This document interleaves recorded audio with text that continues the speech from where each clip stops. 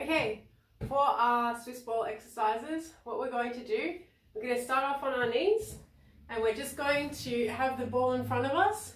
Just roll it out in front of you and have a nice big stretch.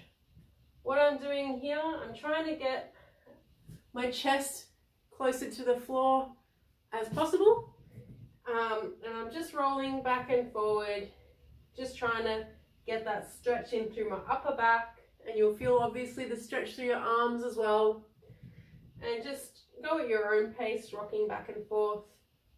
If you find that stretch too intense, just come a bit more onto that um, ball. So just start off 30 seconds in this position here.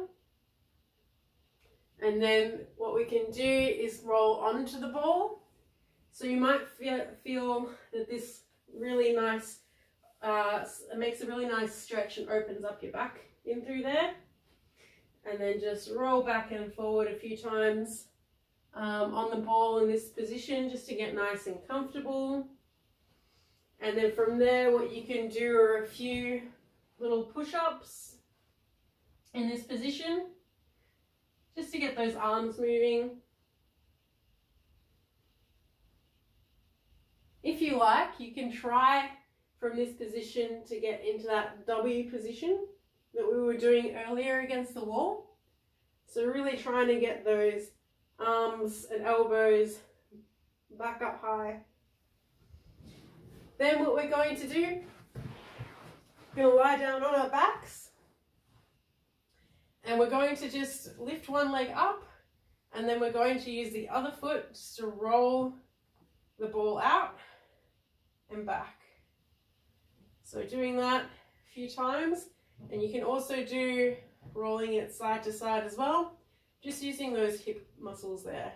If you find that this gets pretty easy in this position, so first off we was just straightening that leg to make it a bit harder, but you can also bring your arms up as well. So that's going to engage that core a bit more. Swap over, do the other side. And then going side to side as well. And do that one for about 30 seconds. The other thing that we were going to do on the ball was sitting on the ball. So you can either sit in the middle of the ball or slightly forward. So what that looks like from the side, I'm on the top of the ball there, or I'm just a bit forward from it. And what I'm going to do from there is I'm just going to lift one leg at a time, just a little bit up off the ground for about three seconds, and then lift the other leg up for about three seconds. So this will challenge your balance a bit. Um, and we'll do that 10 times, so that'll be 30 seconds.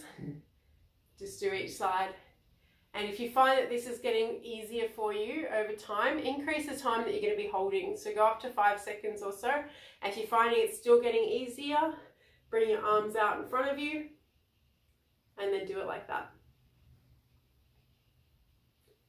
Enjoy.